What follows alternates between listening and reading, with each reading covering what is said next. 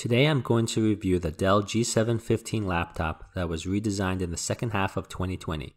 It also received a sizable price cut recently. My configuration is at the mid-range gaming laptop level. This is the 7500 variant with the Intel i7-10750H mobile processor, NVIDIA RTX 2070 mobile GPU, the Max-Q version, 32GB of RAM, full HD display with 144Hz refresh rate. It has an 86 watt hour battery.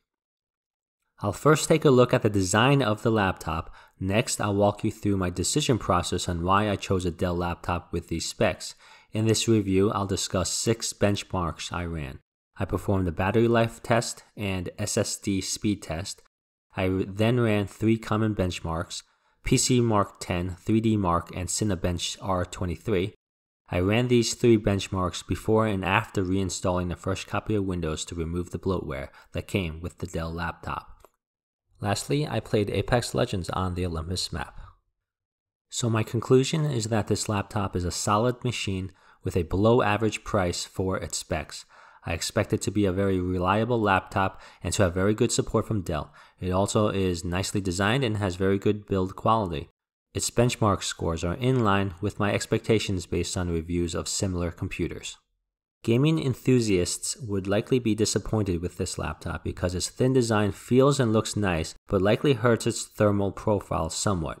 Also, you cannot change the voltage of the CPU because it's locked. As a result, the CPU runs on the hot side and you cannot undervolt it to reduce the temperature. The GPU performance in this laptop meets or exceeds my expectations, but the CPU underperforms somewhat because of the thermal profile. On average, they balance each other out in the benchmark tests. An easy solution for the thermal issue is using a cooling pad, which is a laptop stand with fans that blow air into the laptop.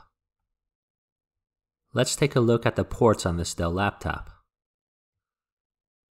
The build quality of the case, display hinge, and keyboard are all very, very good. It definitely looks and feels like a high end machine. It's thin and sturdy because of the all metal design. The Dell G7 has more than enough ports, so you don't need a docking station or a USB hub.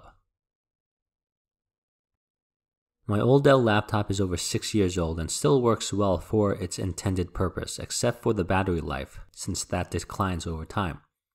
I also have a Dell laptop for work. Both laptops are reliable, so when it came time to purchase a desktop replacement laptop, I put Dell immediately on the finalist list. My primary workloads for this new laptop are Microsoft Office, video editing and encoding using Shotcut, video capture using OBS Studio, 3D printing, and some light 3D design. Most of my applications are in the VMware virtual machine. I do this in order to port my desktop and apps to any computer and for better cybersecurity. I might even have multiple virtual machines running at the same time. To run multiple virtual machines well, my new desktop replacement laptop ideally needed at least 6 CPU cores and 32GB of RAM. This eliminated nearly all standard home office and mid range gaming laptops from consideration.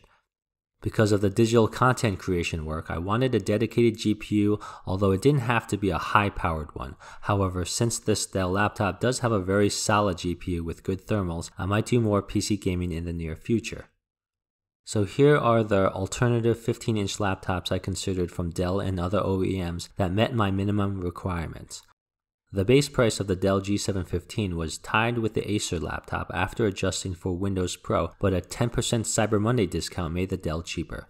Also, I've had bad luck with Acer products in the past, so I was planning to avoid that OEM.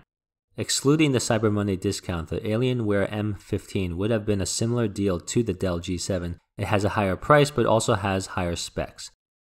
So my conclusion is I chose the Dell G715 because it had among the lowest price of any laptop I found that met my minimum specifications. I like the features and build quality. I expect it to be reliable and I trust Dell as a laptop brand. Battery life wasn't a major consideration for me since I'm primarily using this laptop while plugged in. Also, the battery life of all laptops becomes very short after 5 years or so, but at that point, buying a replacement battery might not make sense because of the age of the laptop. If I cared more about battery life, I would have chosen a less powerful CPU and GPU.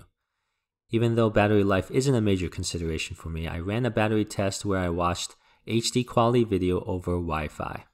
I watched the video for two hours, and if you extrapolate the battery performance in a linear way, this implies a battery life of about 8.5 hours.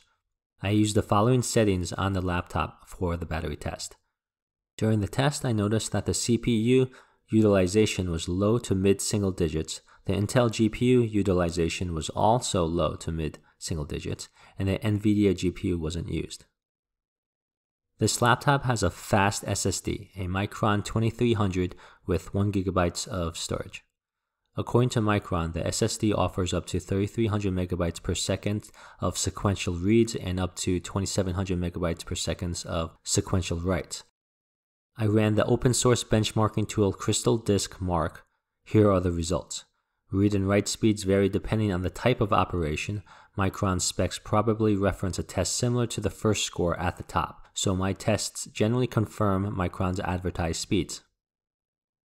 Next, I'll talk about benchmarking using Cinebench R23, PCMark 10, and 3D Mark. Cinebench is a CPU test. PCMark 10 tests both the CPU and GPU, but primarily the CPU, and 3D Mark primarily tests the GPU.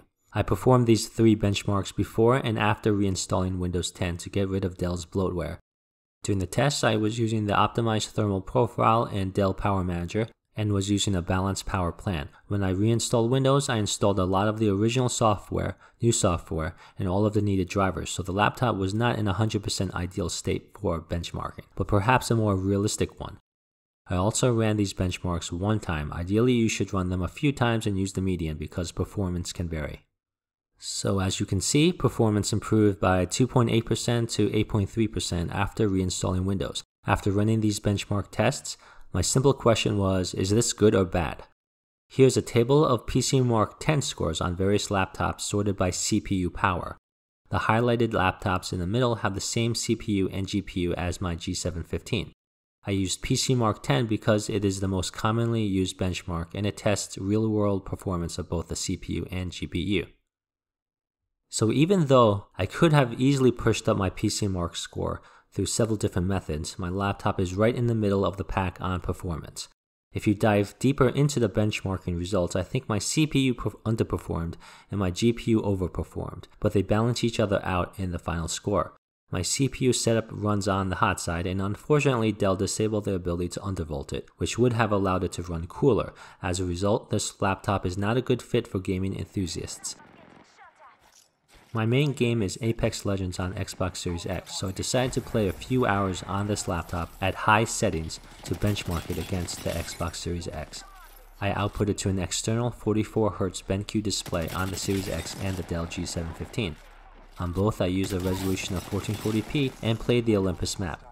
Apex Legends on the Xbox Series X is capped at 60 FPS and I was able to maintain that at all times. On the Dell laptop I was also able to maintain 60 FPS as well while on high graphical settings. The FPS stayed in the 90 to 110 range in most cases.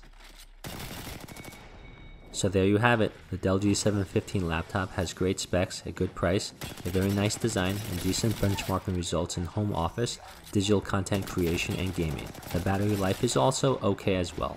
Dell is a trusted laptop brand and has good support, which I don't think should be overlooked. Benchmark results are right in line with my expectations based on its specs. The main negative with this laptop is that the great look and feel of the package means that its cooling setup for the CPU might not be ideal, and Dell doesn't allow you to undervolt the CPU, however I think this is solvable with a cooling pad. Thank you for watching, please subscribe if you enjoyed this video.